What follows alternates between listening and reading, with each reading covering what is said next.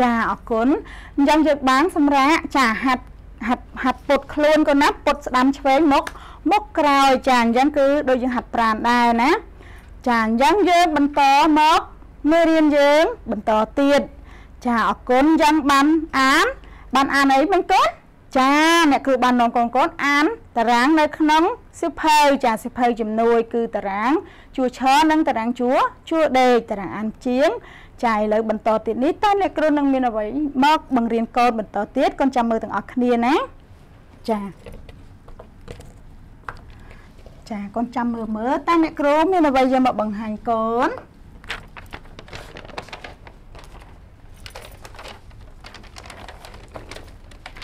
ចាឥឡូវកូនចាំមើលតើអ្នកគ្រូមានអ្វីណោះចា1 2 3ចាគឺអ្នកគ្រូមាន រូបភាពហើយនឹងពាក្យចាកូនកូនដែលមានសិភៅជំនួយកូនលើកសិភៅជំនួយរបស់កូនទំព័រដដែលណាចាសិភៅជំនួយទំព័រទី19ចារូបភាព3នេះហើយនឹងពាក្យរបស់ កូននៅក្នុងសិភៅគឺដូចអ្នកគ្រូបង្ហាញកូននៅលើក្តារក្តារខៀនណាចាចំណែកឯកូនកូនដែលមិនមានសិភៅជំនួយទេកូនកូនត្រៀមចាចាត្រៀមមើលក្តារខៀនតើកូនឃើញរូបអ្វីខ្លះហើយកូនគិតតិចមើលកូនឃើញរូបអ្វីខ្លះកូន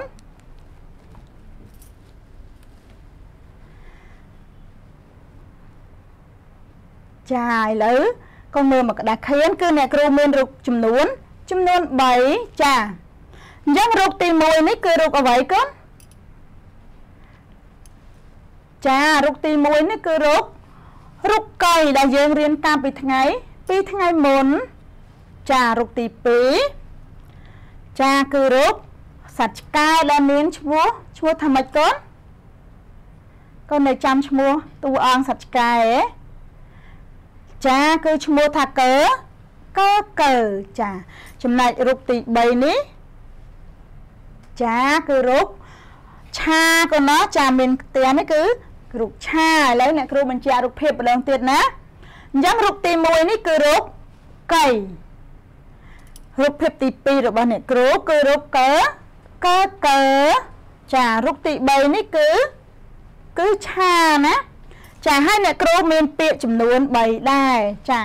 អញ្ចឹងរូបភាពមាន3ពាក្យក៏មានក៏មាន3ដែរណា អញ្ចឹងអ្នកគ្រូនឹងនាំកូនកូនទៅភ្ជាប់ពាក្យចាហើយនឹងរូបរូបភាពចាអញ្ចឹងពាក្យទី1នេះគឺអ្នកគ្រូនឹងភ្ជាប់ឲ្យកូនកូនមើលសិនអញ្ចឹងគឺយើងភ្ជាប់ហ្នឹងគឺយើងយកចង្អុលដៃភ្ជាប់កូនណាអត់យកខ្មៅដៃឬក៏ប៊ីទេ គឺយើងយកចង្អុលដៃស្ដាំរបស់យើងទៅភ្ជាប់ពាក្យហើយនឹងរូបភាពចាអញ្ចឹងអ្នកគ្រូ យកដៃរបស់អ្នកគ្រូដាក់ឲ្យចំពាក្យចាហើយអ្នកគ្រូនឹងភ្ជាប់ទៅនឹងរូបភាពឥឡូវកូនចាំមើលអ្នកគ្រូធ្វើបង្ហាញសិនចាអញ្ចឹងពាក្យនេះអ្នកគ្រូអានថាកើកើកើអញ្ចឹងអ្នកគ្រូចាភ្ជាប់ទៅរូបកើកើកើចាកូនមើលម្ដងទៀតចាពាក្យទី1ដែលអ្នកគ្រូចង្អុលនេះគឺពាក្យកើកើអញ្ចឹងអ្នកគ្រូគូសភ្ជាប់ទៅនឹងរូបកើកើ ចាអរគុណកូនកូនឥឡូវនៅរូបភាពចំនួន2និងពាក្យចំនួន2កូនកូនត្រៀមខ្លួនភ្ជាប់ពាក្យទៅនឹងរូបភាពដោយខ្លួនដោយខ្លួនឯងចាអ្នកគ្រូទុកពេលជូនចាប់ផ្ដើមចារួចរាល់ហើយនៅកូន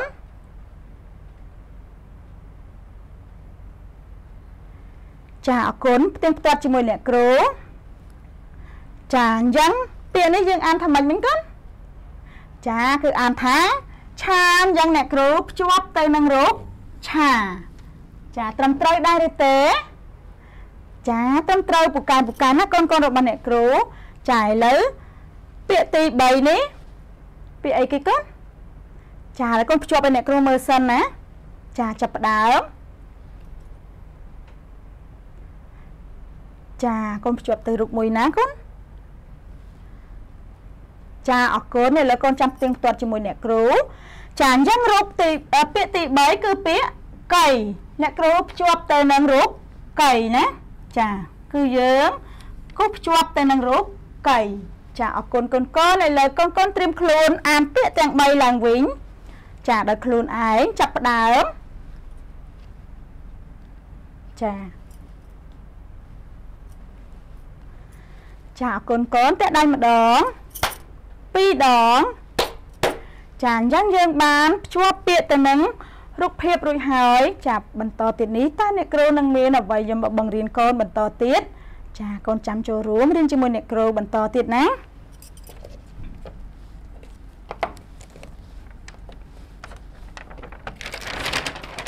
ចាចាំមើលទាំងអស់គ្នា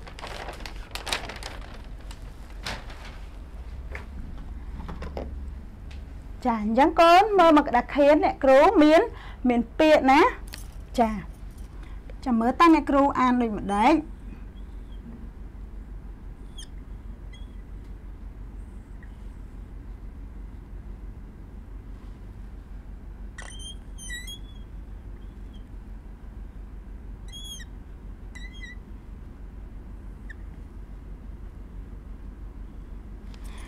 ចាអរគុណយ៉ាងពេលនេះគឺយើងអានថាកើកើចាម្ដងទៀតពេលនេះគឺយើងអានថាកើកើចាអញ្ចឹងកើកើជាតួអង្គរបស់យើងឈ្មោះចាកើកើនេះគឺសត្វឆ្កែណាអញ្ចឹងកូនកូនស្ដាប់អ្នកគ្រូបង្កើតល្បះដោយប្រើពាក្យកើកើចាកូនស្ដាប់ទាំងអស់គ្នាកើកើចេះចាំផ្ទះចាម្ដងទៀតណា កើកើចេះចាំផ្ទះចារបស់របស់អ្នកគ្រូមានពាក្យកើកើកូនចាមានពាក្យកើកើឥឡូវកូនកូនចូលរួមអានពាក្យកើកើនៅលើក្តារខៀនជាមួយអ្នកគ្រូណាចាប់ផ្ដើមកើកើ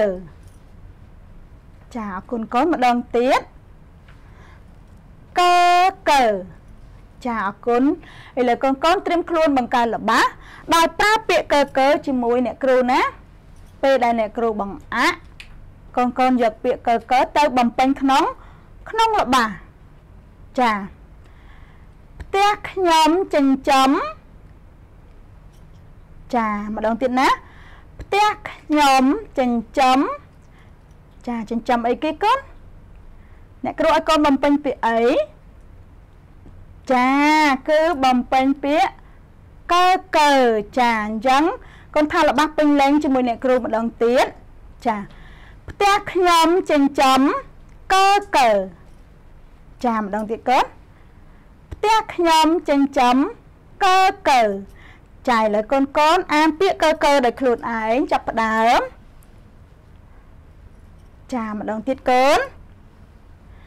ចាអរគុណឥឡូវកូនកូនត្រៀមខ្លួន ចាបង្កើតល្បះដោយប្រើពាក្យ កើកើណាអញ្ចឹងអ្នកគ្រូបង្ហាញបន្ថែមអញ្ចឹងកើកើគឺជាសត្វសត្វឆ្កែណាចាអញ្ចឹងកូនបង្កើតល្បះឲ្យមានពាក្យកើកើអញ្ចឹងកើកើក្រៅពីចេះចាំផ្ទះតើកើកើអាចធ្វើអ្វីបានទៀតណា ចាត្រៀមខ្លួនចាប់ផ្ដើមចាបង្កើតល្បះដោយប្រើពាក្យកើកើណាចា កូនចេះបង្កើតល្បះណាកូនចាអ្នកគ្រូសង្ឃឹមនឹងជឿជាក់ថាកូនកូនប្រកបជាបង្កើតល្បះបានគ្រប់គ្រប់គ្នាណាចាអរគុណកូនតែដៃម្ដងពីរដងចាតើកូនកូនបង្កើតបានចំនួនប៉ុន្មានល្បះកូនចាអញ្ចឹងកូនកូនអាចបង្កើតរបស់ហើយយើងអាចប្រាប់មិត្តភ័ក្ដិយើងបន្ថែមទៀតណាចាអរគុណ ចាអញ្ចឹងជាបន្តទៀតតើអ្នកគ្រូនឹងមានអ្វីយកមកបង្ហាញជូនកូនទៀតណាកូនចាំមើលទាំងអស់គ្នា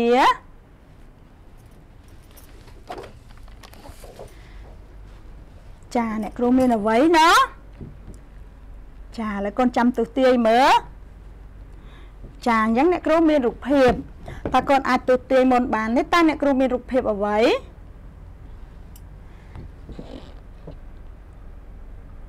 ចាកូនទុះទាយមើលកូន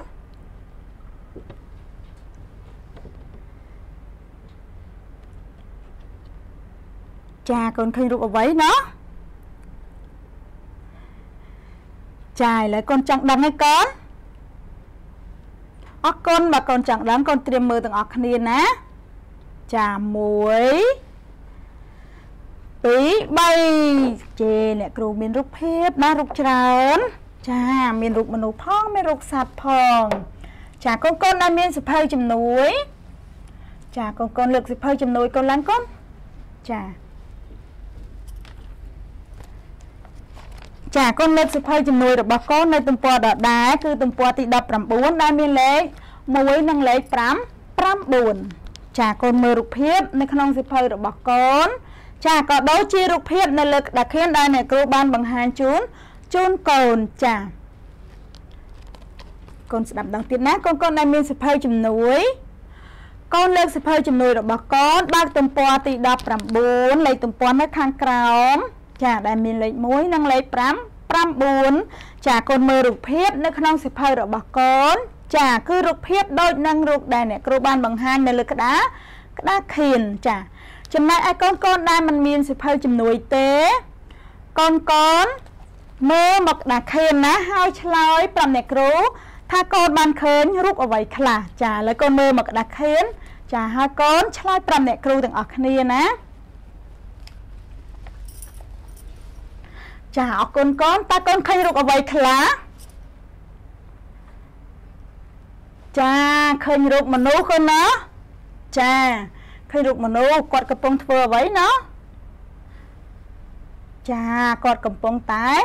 តែញ៉ាំកូនណាចាអញ្ចឹងញ៉ាំយើងអាចនិយាយអ្វីបានទេកូនក្រៅពីភាសាញ៉ាំចាអាចនិយាយថាហូបឬឆៃកូនណាចាអញ្ចឹងក្រៅពីឃើញរូបហ្នឹងកូនឃើញរូបអីទៀតមើលកូនឆ្លើយអស់មើលកូនចាកូនឃើញរូបរូបសត្វឆ្កែសត្វឆ្កែរបស់យើងអំបញ្ញមិញហ៎កូននៅចាំទេតើគេមានឈ្មោះអ្វីកូន ចាមានឈ្មោះថាកើកើកើចាអញ្ចឹងកូនឃើញរូបសត្វអ្វីទៀតក្រៅពីកើកើចាគឺកូនឃើញរូបសត្វទាកូនណាចាឃើញរូបសត្វទាសត្វទាយើងកាលពីថ្ងៃមុនណាកូននៅចាំឈ្មោះអត់ឈ្មោះអីគេកូនចាសត្វទាយើងពីថ្ងៃមុនឈ្មោះថាកេកេកេ ចាអញ្ចឹងកូនឃើញរូបអ្វីទៀតកូនក្រៅពីកើកើនិងកេកេចាគឺឃើញឃើញរូបពស់កូនណោះចាសត្វពស់របស់យើងក៏មានឈ្មោះដែរឈ្មោះអ្វីកូនចាគឺឈ្មោះឈ្មោះខាចាអញ្ចឹងកូនចាំមើលចំណងជើងទាំងអស់គ្នាណាអ្នកគ្រូនឹងបង្ហាញចំណងជើងជូនកូនចា ចាចាំមើលតើចំណងជើងយើង មាន ចំណងជើងដូចម្ដេច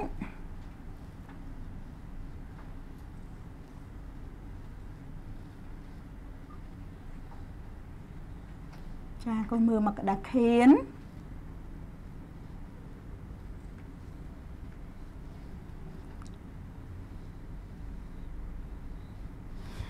ចាអរគុណកូនឥឡូវកូនកូនមើលមកក្តារខៀនអ្នកគ្រូអានចំណងជើងឲ្យកូនស្ដាប់ ចាកូនមើលទាំងអស់គ្នាចាកឆៃខចាម្ដងទៀតណាកឆៃខចាអញ្ចឹងអ្នកគ្រូបានបង្ហាញរូបភាពហើយនឹងចំណងជើង ចាតើកូនកូនអាចទុះទាយសាច់រឿងយើងបានទេកូនចាកូនគ្រាន់តែឃើញរូបភាពកូនឃើញចំណងជើងកូនអាចសន្និដ្ឋានសាច់រឿងយើងមុនពេលអានបានទេកូនតើសាច់រឿងរបស់យើងចាស់និយាយពីអ្វី ចាឥឡូវអ្នកគ្រូទុកពេលជូនកូនទុះទាយបន្តិចណាចា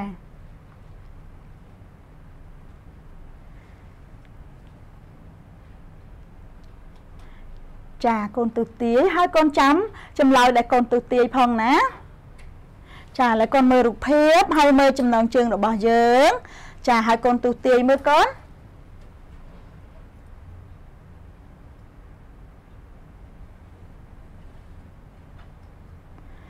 ចាទូទាយរួចរាល់ហើយឬនៅ ចាអរគុណកូនកូនចាអញ្ចឹងដើម្បីឲ្យចាដើម្បីឲ្យអ្វីដែលកូនទន្ទឹងរង់ចាំ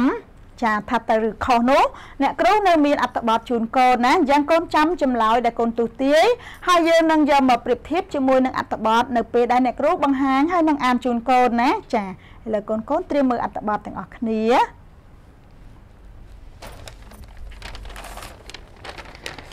ចាអ្នកគ្រូមានអត្ថបទបិទជូនកូន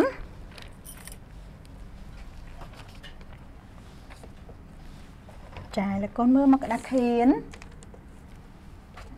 កូនកូនដែលមានសិភៅជំនួយកូនកូនលើកសិភៅកូននៅទំព័រដដែលណា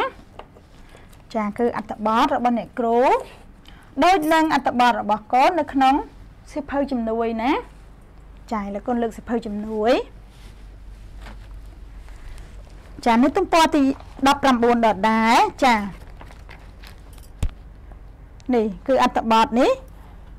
ដោយនឹងអត្ថបទអ្នកគ្រូដែលបង្ហាញជូនកូននៅលើក្តារក្តារខៀនណាកូនអាចមើលនៅក្នុងសិភៅជំនួយរបស់កូនក៏បានកូនអាចមើលមកលើក្តារខៀនក៏បានដែរណាចាឥឡូវកូនកូនដែលមិនមានសិភៅជំនួយទេកូនមើលអត្ថបទនៅលើនៅលើក្តារខៀន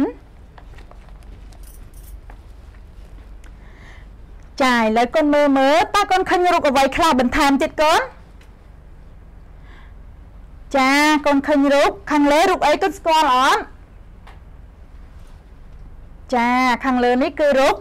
រូបត្រីណាចាចុះរូបទី2ចារូបទី2នេះគឺរូបសាច់ជ្រូកចាចុះរូបទី3កូនស្គាល់ទេកូនសត្វអីគេ ចារូបទី3នេះគឺសត្វកណ្ដុរចាចំណែកឯរូបទី4ផ្លែអ្វីកូនចាគឺផ្លែផ្លែពោតចាឥឡូវអ្នកគ្រូបញ្ជាក់រូបភាពម្ដងទៀតណា ចារូបទី1នេះគឺរូបត្រី ចាចំណែករូបទី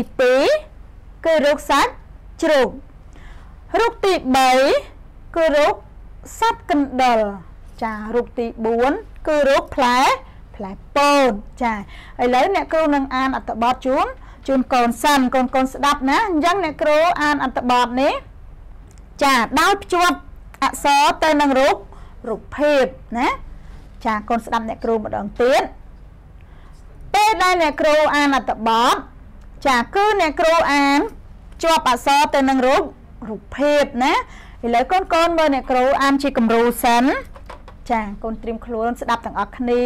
ចាហើយនឹងលួចអានតិចតិចផងកូនណាចាដើម្បីឲ្យពេលដែលកូនអានជាមួយអ្នកគ្រូ គឺយើងចេះតែម្ដងចាកឆៃខចាកឆៃត្រីខចាកូនស្ដាប់បន្តកកឆៃសាច់ជ្រូកខាខាឆៃ កណ្ដុរកេកេឆៃពោតចាអរគុណកូនឥឡូវកូនកូនត្រៀមស្ដាប់អ្នកគ្រូអានអត្ថបទជូនកូនម្ដងទៀតណាចា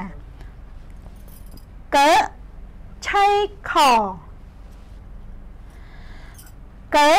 ឆៃត្រីខកកឆៃសាច់ជ្រូក ខាខាឆៃកណ្ដុរកេកេឆៃពោតចាអរគុណកូនឥឡូវកូនកូនត្រៀមខ្លួនអានអត្ថបទជាមួយអ្នកគ្រូណាដោយយកចង្អុលដៃស្ដាំរបស់កូនចាអឲ្យចំតួអក្សរនិងរូបរូបភាពហើយអានព្រមជាមួយអ្នកគ្រូចាអ្នកគ្រូអាននៅលើក្តារខៀនចាកូនកូនអាននៅក្នុងសិភៅរបស់កូនចារួចរាល់ហើយនៅនៅកូនត្រៀមខ្លួនរួចរាល់ហើយនៅ ចាអរគុណចាប់ផ្ដើមកឆៃខកឆៃត្រីខចាបន្តទៀតកកឆៃសាច់ជ្រូកខាខាឆៃកណ្ដុរចាកេកេឆៃពោត ចាអរគុណឥឡូវកូនកូនត្រៀមខ្លួនអានជាមួយអ្នកគ្រូម្ដងទៀតណា ចាចាប់ផ្ដើមកឆៃខកឆៃត្រីខកកឆៃសាច់ជ្រូកខាខាឆៃកណ្ដុរកេកេឆៃពោត ចាអរគុណកូនឥឡូវកូនកូនតាក់ដៃម្ដងកូនពីរដង3ចាឥឡូវយើងត្រៀមខ្លួនចូលរួមអានអត្ថបទដោយខ្លួនឯងទាំងអស់គ្នាណាចាត្រៀមខ្លួនរួចរាល់ហើយឬនៅ ចាចាប់ផ្ដើមចាអរគុណកូនចាបន្តទៀត ចាអរគុណ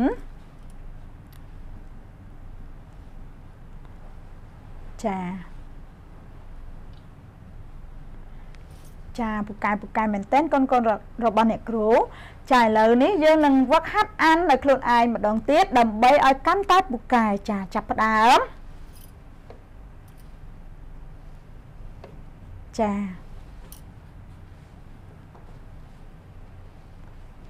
ចាបន្តទៀតកូន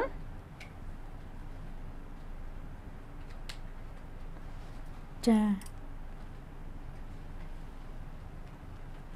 ចាអរគុណចាពូកែពូកែមែនតែនកូនកូនរបស់អ្នកគ្រូឆ្លាតឆ្លាតណាចាអរគុណយ៉ាងកូនកូនអាចអានបន្ថែមណាអត្ថបទរបស់យើង គឺនៅផ្ទះជាមួយនឹងប៉ាម៉ាក់ឬក៏បងប្អូនយើងបន្តទៀតណា ចាអញ្ចឹងយើងងាកមកចម្លើយដែលអ្នកគ្រូឲ្យកូនទុទាយមុនពេលអាន ចាតើកូនទុទាយថាដូចម្ដេចខ្លះកូននៅចាំទេកូនចានៅចាំកូនទុទាយថាកុមារហ្នឹងឆៃចាឆៃអាហារណាអញ្ចឹងយើងអានចប់គាត់ឆៃអាហារហ្នឹងឈ្មោះអីគាត់ចាគឺឆៃខកូនណាចាចាអញ្ចឹងកូនឃើញកើកើហ្នឹងឆៃសាច់ជ្រូកចាអញ្ចឹងចម្លើយរបស់កូន គឺត្រឹមត្រូវដូចគ្នាណាចាអរគុណចាអញ្ចឹងអ្នកគ្រូនៅមានសំណួរបន្តដើម្បីសួរកូនដែលពេលដែលយើងអានអត្ថបទអត្ថបទចប់អ្នកគ្រូសង្ឃឹមនឹងជឿជាក់ថាកូនកូនប្រកាសជាឆ្លើយបានណាដោយសារយើង បានអានអត្ថបទចប់ហើយចាឥឡូវកូនត្រៀមខ្លួនឆ្លើយសំណួរទី1ចាតើកើកំពុងញ៉ាំអ្វីចាកូនស្ដាប់សំណួរម្ដងទៀត តើកើកំពុងញ៉ាំអ្វីចាតើកើកំពុងញ៉ាំអ្វីកូនចាល្អណាស់កូនកើកំពុងញ៉ាំត្រីត្រីខចាឥឡូវកូនត្រៀមខ្លួនឆ្លើយសំណួរបន្តចាតើសត្វអ្វីខ្លះឆៃសាច់ឆៅចាកូនស្ដាប់សំណួរអ្នកគ្រូម្ដងទៀត តើសត្វអ្វីខ្លះឆៃសាច់ឆៅចាសត្វអ្វីខ្លះកូនណោះគិតតិចមើល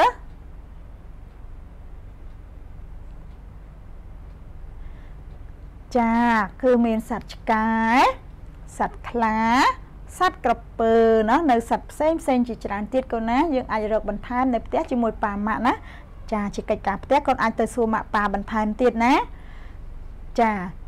អញ្ចឹងកូនត្រៀមឆ្លើយសំណួរបន្តចាតើកើកើចេះធ្វើអ្វីខ្លះចាតើកើកើរបស់យើងនឹងចេះធ្វើអ្វីខ្លះចាតើកើកើចេះធ្វើអ្វីខ្លះកូនកូនត្រៀមឆ្លើយសំណួរកូនស្ដាប់ម្ដងទៀតណាតើកើកើចេះធ្វើអ្វីខ្លះ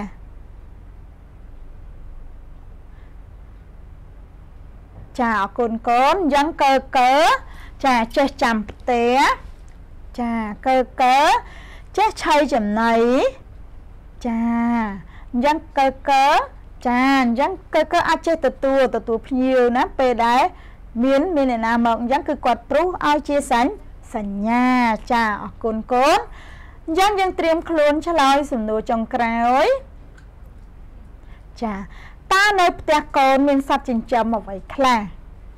ចាកូនស្ដាប់សំណួររបស់អ្នកគ្រូម្ដងទៀតតើនៅផ្ទះកូន មានសត្វចិញ្ចឹមអ្វីខ្លះចាតើប៉ាម៉ាក់កូនចិញ្ចឹមសត្វអ្វីខ្លះកូនចាអរគុណនៅផ្ទះកូនកូនមានចិញ្ចឹមចាសត្វឆ្កែឆ្មា ចាមន់ទា ចាមានកូនខ្លះអាចចិញ្ចឹមគោក្រ ក្របីទៀតកូនណាចាអរគុណគុំតាក់ដៃម្ដងពីរដងចាអញ្ចឹងយើងបានអានអត្ថបទចប់ហើយអ្នកគ្រូសង្ឃឹមនឹងជឿជាក់ថាកូនកូនប្រកាសជាចេះអានគ្រប់គ្នាណាហើយអាចអានឲ្យប៉ាម៉ាក់យើងស្ដាប់បន្តណានៅផ្ទះចាឥឡូវដល់ពេលដែលយើងត្រូវសរសេរតាមអានកូនកូនត្រៀមក្តារឈ្នួន Word ដូចសចាសិភៅ ដើម្បីចូលរួមសរសេរតាមអានជាមួយអ្នកគ្រូណាចាឥឡូវអ្នកគ្រូទុកពេលជូនកូនលើកក្តារឈ្នួនឡើងកូនចាកូនត្រៀមសម្ភារៈដើម្បីសរសេរតាមអានជាមួយអ្នកគ្រូ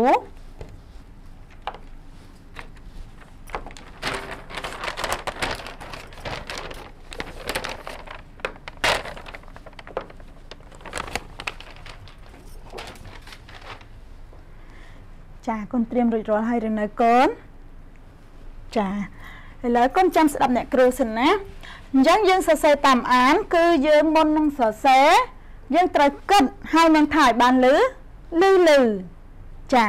អ្នកគ្រូប្រាប់ម្ដងទៀតមុននឹងសរសេរតាមអានកូនកូនត្រូវគិតណា ពេលដែលអ្នកគ្រូបន្លឺពាក្យហ្នឹងគឺមានអក្សរអ្វីខ្លះហើយនឹងថាឲ្យបានលឺលឺលឺចាឥឡូវកូនកូនមើលមកអ្នកគ្រូសិនកូនអត់ទាន់សរសេរទេណាកូនចាំមើលអ្នកគ្រូចាសរសេរឲ្យកូនមើលសិនចាកើ ចាកូនស្ដាប់ដល់ទៀតណាកើ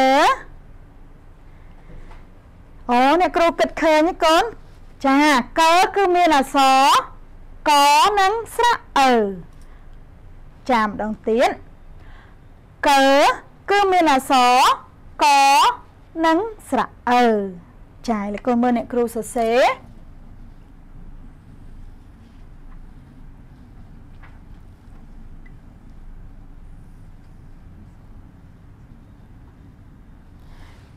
ចាអញ្ចឹងកគឺមានអក្សរកនិងស្រៈអើចាអរគុណកូនកូននៅលើកូនត្រៀមក្តារឈ្នួនចាកូនសរសេរនៅលើក្តារឈ្នួនអ្នកគ្រូសរសេរនៅលើក្តារក្តារខៀនចាអញ្ចឹងយើងនឹងសរសេរឲ្យបានព្រមគ្នាចាកូនអត់លួចមើលក្តារខៀនទេកូនណាចាអញ្ចឹងមុននឹងសរសេរកូនត្រូវគិតហើយនឹងថាឲ្យបានលឺលឺលឺចាត្រៀមខ្លួនចើ ចាកូនស្ដាប់ដងទៀតណាចើ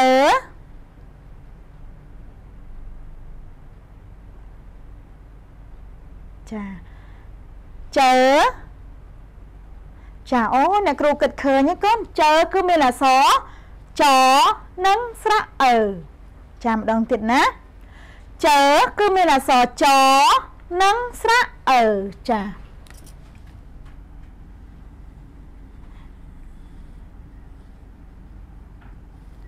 ចាកូនចាំផ្ទៀងផ្ទាត់ជាមួយអ្នកគ្រូចាអញ្ចឹងចគឺមានអក្សរចនិងស្រៈ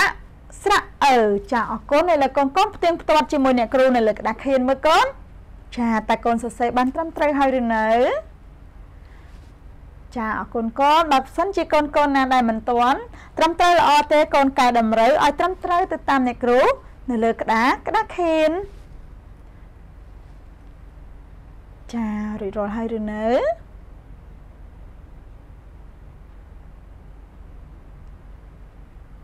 ចាអរគុណកូនចាអញ្ចឹងកូនកូនចាកែតម្រូវឲ្យត្រូវតាមអ្នកគ្រូហើយហើយអញ្ចឹងកូនលុបចេញកូនត្រៀមខ្លួនសរសេរចាជាងបន្តពាក្យបន្តជាមួយចាជាមួយមិត្តភ័ក្ដិយើងដោយខ្លួនឯងណាអញ្ចឹងអ្នកគ្រូលែងសរសេរសរសេរឲ្យកូនមើលហើយអញ្ចឹងកូនសរសេរហើយកូនលើកបង្ហាញអ្នកគ្រូសិនណា ចាក្រោយពីកូនបង្ហាញអ្នកគ្រូទៅអ្នកគ្រូចាបង្ហាញពាក្យដែលអ្នកគ្រូបាន បានហៅឲ្យកូនសរសេរហើយយើងនឹងផ្ទៀងផ្ទាត់ជាមួយគ្នាចាខ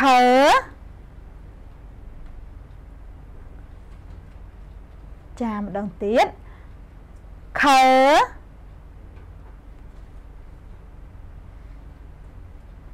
ចាខ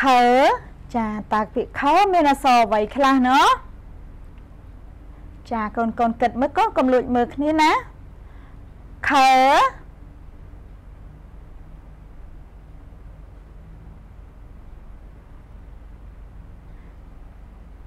ចាកូនរួចរាល់ហើយឬនៅកូនខ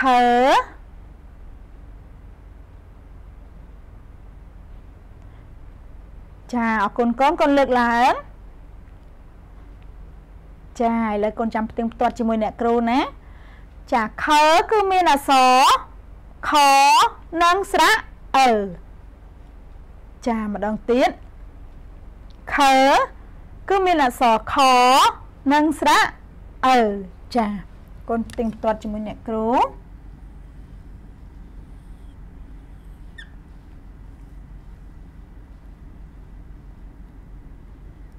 ចាអញ្ចឹងខគឺមានអក្សរខនិងស្រៈអើចាឥឡូវអ្នកគ្រូទុកពេលជូនកូនផ្ទៀងផ្ទាត់ចាត្រឹមត្រូវហើយឬនៅកូនចាអរគុណកូនកូនដែលសរសេរបានត្រឹមត្រឹមត្រូវឥឡូវអ្នកគ្រូតែដៃអស្ចារ្យជូនណា1 2 3 1 2 3អស់ចាចា អញ្ចឹងកូនលុបចាញ់ត្រៀមខ្លួនសរសេរពាក្យចុងក្រោយចាឈើម្ដងទៀតណាឈើចាកូនគិនតិចមើលកូនតើឈើមានពាក្យអ្វីចាមានអក្សរអ្វីខ្លះពាក្យឈើចាឈើ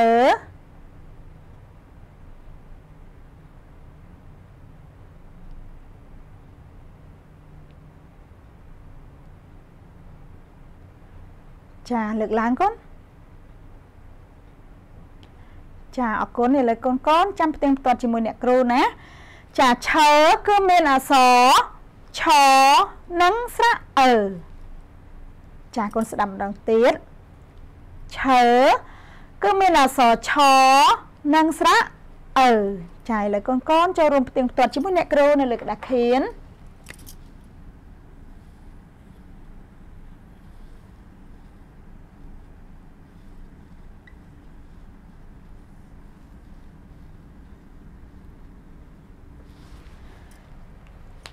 ចាអញ្ចឹងឆើគឺមានអក្សរឆ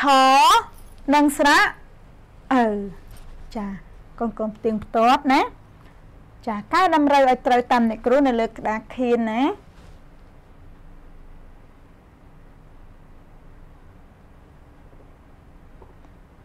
ចារួចរាល់ហើយឬនៅកូន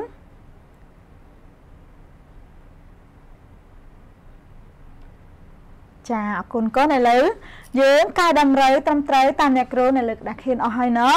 អញ្ចឹងយើងទុកក្តារឈ្នួនចាដេសហ្វឺតចាអញ្ចឹងអ្នកគ្រូនឹងនាំកូនកូនទៅផ្ទះដៃបាញ់កំជ្រួចណា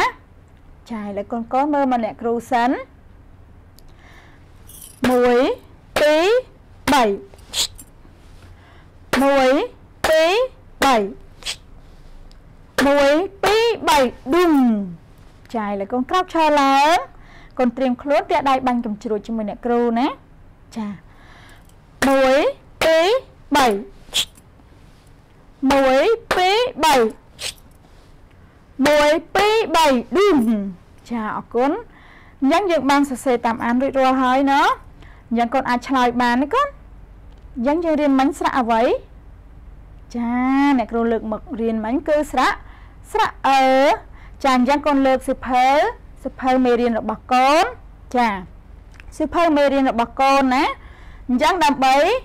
យើងសរសេរស្រអើចូលក្នុងសិភៅមេរៀនរបស់កូនចាគឺកូនកូនដែលមានសិភៅជំនួយ ចាកូនលើកសិភៅជំនួយរបស់កូនឡើងចានៅទំព័រដដែលគឺទំព័រទី19ចានេះគឺនៅក្នុងតារាងណាអ្នកគ្រូនឹងឲ្យកូន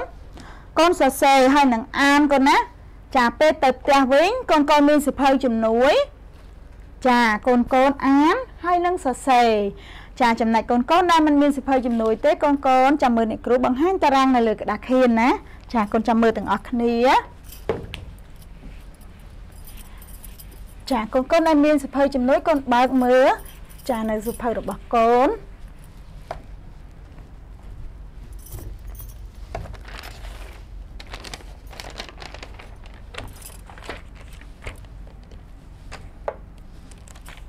ចាកូនដែលมันមានសិភៅជំនួយកូនមើលមកក្តារខៀនណា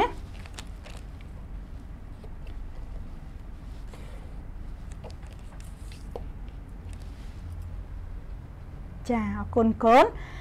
អញ្ចឹងគឺតារាងរបស់អ្នកគ្រូនេះគឺឲ្យកូនកូននៅផ្ទះគឺយើងអានណាគឺយើងអានអក្សរដែលមាន4តួអក្សរគឺមានអក្សរក ខចនិងឆចា4តួអក្សរដែលផ្សំជាមួយនឹងស្រៈដែលយើងបានរៀនកាលពីថ្ងៃមុនមុនតាំងពីស្រៈអាមករហូតដល់ស្រៈដែលយើងបានរៀនអំបញ្ញមិញគឺស្រៈស្រៈអឺណាអញ្ចឹងក្រោយពីកូនទៅផ្ទះអានហើយគឺអ្នកគ្រូឲ្យកូនសរសេរចូលក្នុងសិភៅរបស់កូនបន្ថែមទៀតគឺកូនយកអក្សរទាំង4តួនេះមកផ្សំចាផ្សំជាមួយនឹងស្រៈដែលយើងបានរៀនគឺស្រៈអឺ យើងសរសេរដាក់ក្នុងសិភៅមេរៀនរបស់កូនណាអញ្ចឹងគឺកូនអត់សរសេរចូលក្នុងសិភៅជំនួយទេណាអ្នកគ្រូបញ្ជាក់ជូនម្ដងទៀត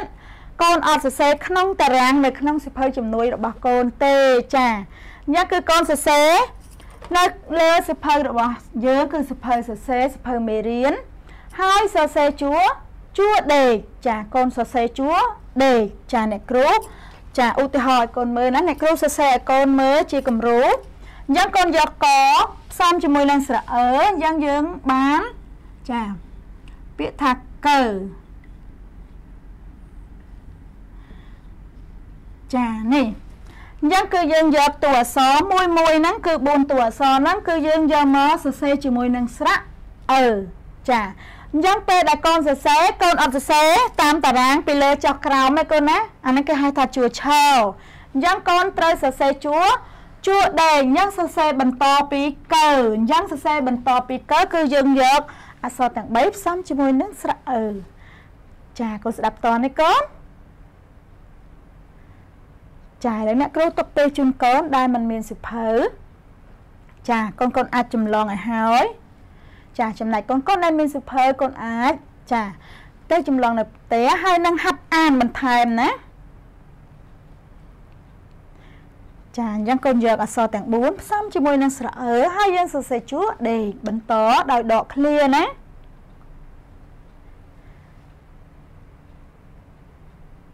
ចារួចរាល់ហើយឬនៅកូនចាអរគុណអញ្ចឹងកូនកូនត្រៀមខ្លួន ចាលើកសិភៅកិច្ចការផ្ទះដើម្បីធ្វើកិច្ចការផ្ទះទាំងអស់គ្នាណា ចាអ្នកគ្រូនឹងដាក់កិច្ចការផ្ទះជូនកូន ចាកូនលើកសិភៅកិច្ចការផ្ទះរបស់កូនឡើង ចាកូនត្រៀមធ្វើកិច្ចការផ្ទះតើអ្នកគ្រូមានកិច្ចការផ្ទះអ្វីជូនកូនថ្ងៃនេះចា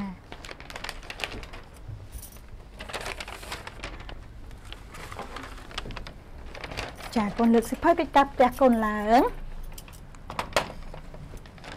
ចាញឹកកិច្ចការផ្ទះរបស់អ្នកគ្រូគឺឲ្យកូនកូនសរសេរស្រៈអឺណាដែលយើងបានរៀនអំបញ្ញមិញ ចាអញ្ចឹងអ្នកគ្រូសង្ឃឹមនឹងជឿជាក់ថាកូនកូនប្រកាសជាចូលរួម ធ្វើកិច្ចការផ្ទះគ្រប់គ្រប់គ្នាណាចាអញ្ចឹងកិច្ចការផ្ទះរបស់អ្នកគ្រូគឺឲ្យកូនកូនសរសេរស្រៈអឺឲ្យបានចំនួន5ដង ចាគឺសរសេរមួយអានមួយចាកូនស្ដាប់អ្នកគ្រូម្ដងទៀតកិច្ចការផ្ទះរបស់អ្នកគ្រូគឺឲ្យកូនកូនសរសេរស្រអើចំនួន5ដង សរសេរមួយអានមួយណាចាហើយស្អែកយើងនឹងកែណាហើយនឹងឲ្យកូនកូនអានចារីរស់ហើយនៅកូនអញ្ចឹងកូនសរសេរស្រអើតែមួយសិនទេណាពេលនៅផ្ទះកូនសរសេរបន្ថែមចំនួន5ទៀតចាអរគុណរួចរាល់ហើយណោះចាអញ្ចឹងមេរៀនរបស់អ្នកគ្រូក៏បានដល់ទីបញ្ចប់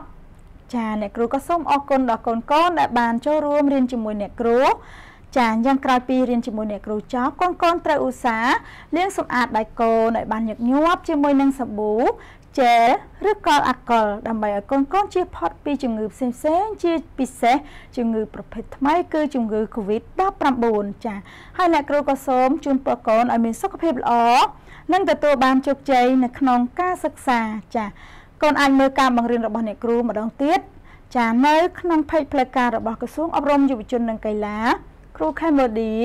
ចានៅលើកញ្ចក់ទូរទស្សន៍តតក2ទូរទស្សន៍ដូចជា DTV និងទូរទស្សន៍ខ្សែការ25រាជធានីខេត្តចាហើយយើងនឹងជួបគ្នានៅពេលវេលានឹងម៉ោងដដែលចាសូមអរគុណសូមជម្រាបលា